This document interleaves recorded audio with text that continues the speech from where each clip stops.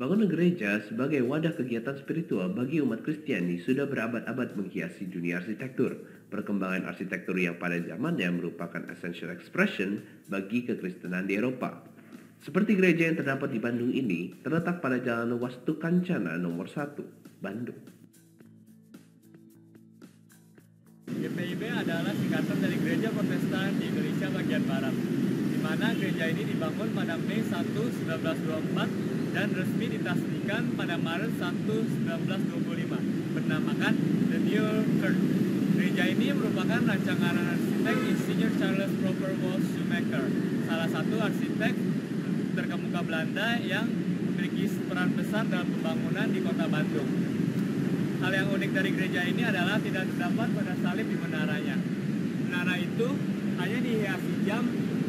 Menara ini merupakan menara lonceng yang berdetak pertama kali pada 1 Maret 1925, tepatnya pada pukul 9 lewat 15 waktu Indonesia Barat. Di gaya khas Art Deco yang saat itu sedang populer pada zamannya. Shoemaker merancang pintu masuk yang besar dan melengkung yang menjadi satu-satunya penanda bangunan itu sebagai gereja. Berada di kawasan Taman Balai, kota yang asri, gereja Bethel ini dibangun di atas lahan seluas 3.378 meter persegi halaman yang masih tersisa luas karena bangunan gereja ini bisa menampung 500 jemaah hanya berukuran 432 meter persegi. Di dinding gereja dibuat tebal 45-60 cm. Selain itu, untuk memperkokoh bangunan ini juga untuk mengurangi terpaan hawa dingin Bandung tempo dulu. Menurut bahwa sistem konstruksi yang digunakan adalah sistem dinding pemikul dan bukan sistem rangka, sebagaimana bangunan pada umumnya saat ini. Hal ini menunjukkan keterbatasan teknologi konstruksi pada saat itu, namun juga mempertegas pengaruh arsitektur Romanesk dan Gotik yang selalu menggunakan sistem konstruksi dinding pemikul. Shoemaker ketika mendesain bangunan ini dipengaruhi oleh citra bangunan gereja di Eropa yaitu arsitektur Romanes yang mempengaruhi desain GPIB Bethel dan arsitektur gereja katedral St. Petrus akan tetapi, keduanya diadaptasikan dengan kondisi material dan konteks lokal, sehingga dapat dikatakan bahwa kedua bangunan ini masing-masing dipengaruhi oleh arsitektur Art Deco dan neogotik.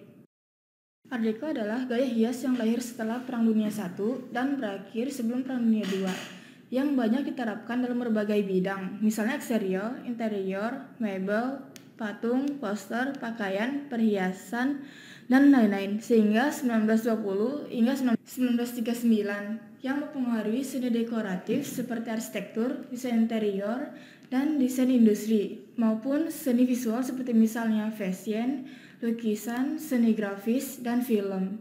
Gerakan ini dalam pengertian tertentu adalah gabungan dari berbagai gaya dan gerakan pada awal abad ke-20.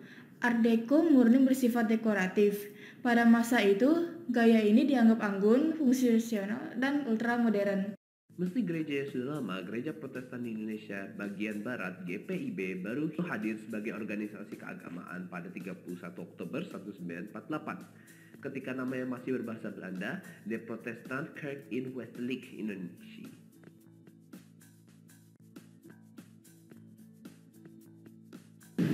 Battle secara susunan masa membentuk salib di mana proporsi salibnya yang lebih besar dan lebar dan dengan area penerima lewat kepala salib.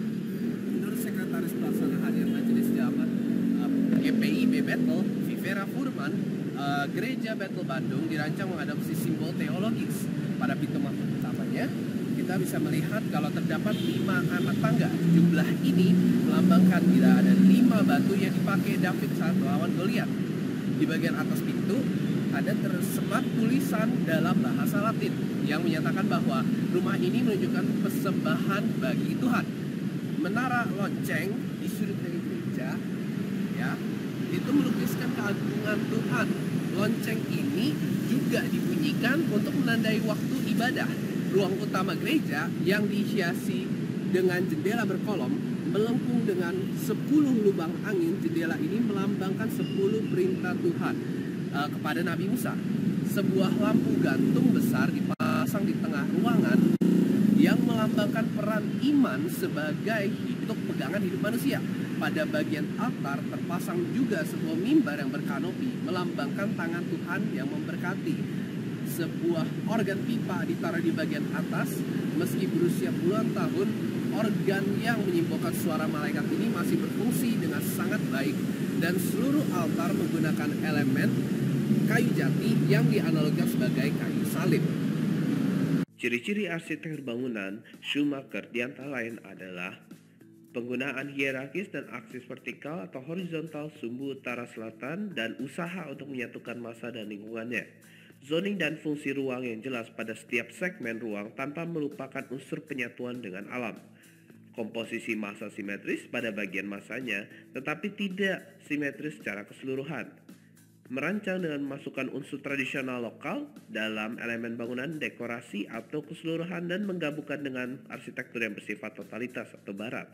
Pada bangunan awal masih banyak menggunakan elemen Eropa seperti gato, molding, dormer, menara, dan lain-lain akan tetapi sejak 1935 lebih mengarah pada arsitektur modern.